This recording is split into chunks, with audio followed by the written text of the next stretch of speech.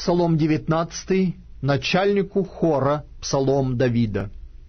«Да услышит тебя Господь в день печали, да защитит тебя имя Бога Иаковлева, да пошлет тебе помощь из святилища, и из Сиона да подкрепит тебя. Да вспомнит все жертвоприношения твои, и всесожжение твое да сделает тучным.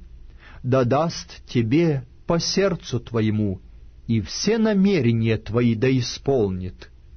Мы возрадуемся о спасении Твоем, и во имя Бога нашего поднимем знамя.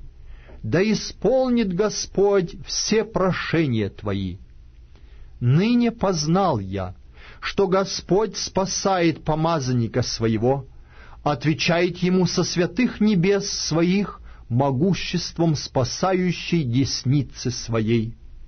Иные колесницами, иные конями, а мы именем Господа Бога нашего хвалимся. Они поколебались и пали, а мы встали и стоим прямо. Господи, спаси царя и услышь нас, когда будем взывать к Тебе».